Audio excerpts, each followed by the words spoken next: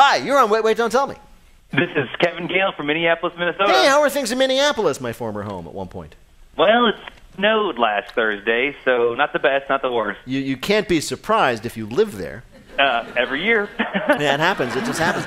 What do you do there? I'm actually a second year medical student at the University of Minnesota. Oh, that's great. You're a, you're a gopher doctor. And, well, not a doctor Well, not- for gophers, in- but. Not, not quite yet. yeah, I know. What kind, of, what kind of medicine do you want to do? Uh, I would say, is NPR looking for a house doctor?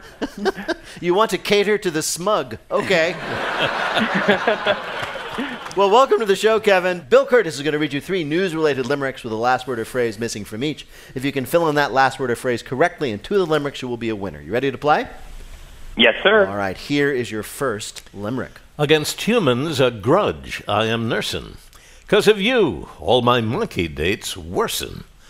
Ape ladies won't swipe for a Todd, Chad, or Mike. I'm alone 'cause I look like a. Can you say the rhyme words one more time? He sure, I can say the whole thing one more time. Against humans, a grudge I am nursing. 'Cause of you, all my monkey dates worsen. Ape ladies won't swipe for a Todd, Chad, or Mike. I'm alone 'cause I look like a. Person. Yes, a Person person. is. Very good. Wow. A monkey at a zoo in China has been single for 19 years because he looks too much like a person. Because as any person who's tried to get with a monkey knows, they are just not interested in us. Zookeepers say a monkey's person like face has kept females from pairing with him. When you look at the pictures, it's true. He doesn't just look like a person, he looks like a person that hasn't gotten laid in 19 years. Sad monkey. How do they know that's why? Well, they think that that's obviously the monkey is unsuccessful. They know this, and they think it's because it looks too much like a person. Well, that's just a wild guess. Well, if you see a picture of this monkey, and we have looked at a Has picture, he's got of like the a tie and a suit coat on?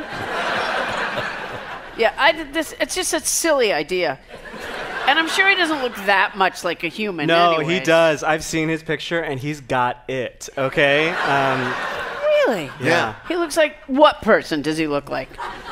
he do- he he looks sort of like a small Brad Pitt. Kevin, here is your next limerick. The old family card game that you know gets political when red or blue show. Neutrality warrants some purple or orange. We've made a nonpartisan. Uno. Yes, very good. I've The never heard new of that edition- game, and you got it. The new edition of the family card game Uno does not include red or blue cards, and Mattel says it's to help families avoid political disagreements. Oh my heavens! Seriously, Mom? Draw four again. You're so part of the Uno percent. it's weird, though. They don't want to be political, but the game still forces players to learn Spanish. Mattel says the nonpartisan version will bring families together because, quote, without red or blue cards, the focus can stay on the game. That is so ridiculous. Well, Are there families that can't go to the ocean? because it's blue? Yeah, or on a beautiful day, they're like, "Don't look at the sky. We're Republicans." It's absurd. Don't eat that apple. It's red, right? That's right. Yeah, exactly. You know what? What, Paula? Maybe that monkey is the one who had that Uno idea, and that's why it's not having sex. Dumb idea. All right, here is your last limerick. They can see how I twitch when I'm dreaming. I sure hope that I don't wake up screaming. At a dollar a night, the hotel is priced right. 'Cause my room's on a feed that's live. Streaming. Yes, streaming, very good. A new hotel in Japan is offering guests the chance to stay for $1 a night. That's it. There's just one catch. You have to agree to be live streamed for people to watch. Guests will be recorded for the duration of their stay, but the live stream will not record you in the bathroom, taking a shower, and you are not allowed to be filmed while being, quote, intimate.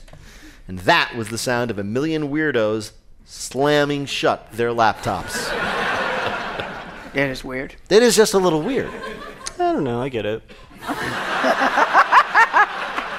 I don't know. I think people do interesting stuff. Like when I get a hotel, I always like to get two queen size beds, and then the first 15 minutes I decide which one will be the eating bed and which one will be the sleeping bed. And then I spend the rest of the night eating in the eating bed. And then sometimes I'll even fall asleep in the eating bed. I'll be honest. So, Well, there your plans go right out yeah. the window. Well, what you've described would make riveting viewing. Bill, how did Kevin do in our quiz? Kevin did very well. He got every single one hey, right. nice job, Kevin. Congratulations, Thank. Kevin, Thanks, Peter. and good luck with a medical education. to